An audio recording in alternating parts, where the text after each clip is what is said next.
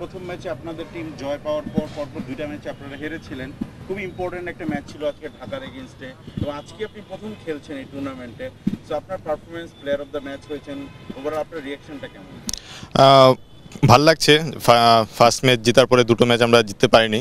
তো, আজকে fourth match আজকে জয়টা খুব ইম্পর্টেন্ট ছিল আমাদের জন্য। আর আমি খেলতে পারিনি বাট আমার সেই প্রিপারেশনটা নেওয়া ছিল। যখনই সুযোগ পাবো, চেষ্টা করব ভালো খেলতে।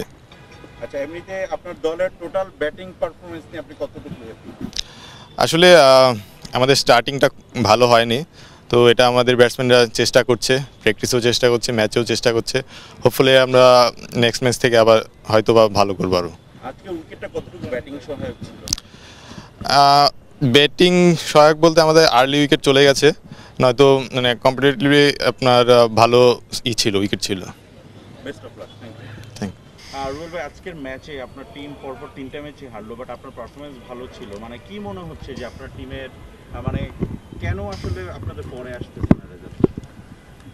না আমার কাছে মনে হচ্ছে আমরা ওভারঅল তেমন একটা ভালো ক্রিকেট খেলতেছি না।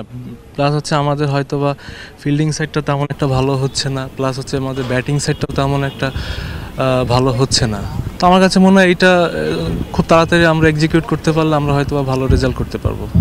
আপনার কি মনে হয় না যে আপনারা শুরুতেই আপনাদের ওপেনিং জুটিটা ক্লিক করছে না? মানে হয় কি পাওয়ার প্লেতে উইকেট পড়ে গেলে একটা প্রেশার তৈরি হয় একটা টিমের জন্য। তো কি মনে হয়, আপনাদের টপ অর্ডারে কেন মানে ছন্দ ফিরে পাচ্ছে না ব্যাটসম্যানরা না, আজকের ম্যাচে আজকের ম্যাচে যেটা বলতে চাই সেটা হচ্ছে, ধরেন আজকে আমাদের ওপেনাররা তেমন একটা ভালো খেলতে পারে না স্টার্টিংটা আমাদের খারাপ হয়েছে হয়তো এই কারণে ম্যাচটা অন্যদিকে চলে গিয়েছে। তো আমার কাছে মনে হয় স্টার্টিংটা খুব ইম্পর্টেন্ট তো এইটাই আর কি স্টার্টিং যে টিমেরই ভালো হয় না কেন, আপনার আলটিমেটলি আপনার ম্যাচটা তাদের দিকে যাওয়ার চান্সটা খুব বেশি থাকে। তো এটা। আপনার টিমে আজকে একজন নতুন সিমারের ডেবিউ হয়েছে মানে তার বোলিংটাকে আপনি কীভাবে দেখলেন অ্যাজ এ সিনিয়র প্লেয়ার না ও ও- ওর সাথে আমি নেটে বোলিং করেছি আসলে তখনই আমি ওকে দেখছি যে না খুবই মার্শাল্লাহ ভালো বোলিং করে ওর পেসও আছে প্লাস হচ্ছে ভেরিয়েশন আছে। তো ইনশাল্লাহ ভালো ভালো ছেলে প্লাস হচ্ছে খুব ভালো বলার আমার কাছে মনে হয় খুব ভালো ফিউচার ভালো। Thank you thank you thank you